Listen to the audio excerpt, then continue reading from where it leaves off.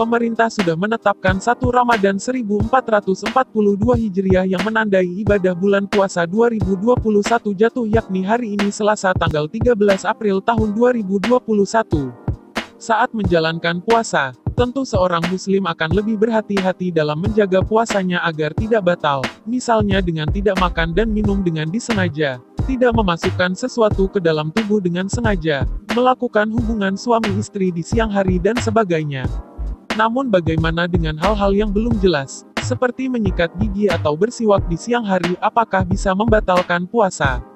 Dekan Institut Agama Islam Negeri IAIN, Surakarta, Dr. Ismail Yahya mengatakan, hukum sikat gigi saat puasa dibolehkan, apabila dikerjakan sebelum salat subuh. Hal tersebut sesuai dengan anjuran para ulama, yang menganjurkan untuk menggosok gigi setelah makan sahur. Hukum bersiwak, berkumur, dan menggosok gigi saat puasa dibolehkan oleh para ulama, terlebih kalau itu dilakukan sesudah kita sahur, sangat dianjurkan, ujarnya.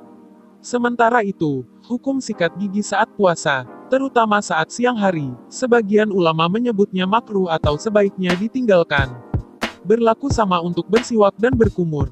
Namun, apabila orang yang berpuasa itu berkumur dengan sewajarnya saat berwudu, maka itu masih diperbolehkan. Para ulama berpendapat, kalau bersiwak, berkumur, menggosok gigi itu dilakukan sesudah siang hari atau salat zuhur, sebagian ulama mengatakan itu makruh, kalau itu berlebih-lebihan. Kalau itu sekedar berkumur ketika akan berwudu, itu tidak dipermasalahkan, jelas Ismail Yahya.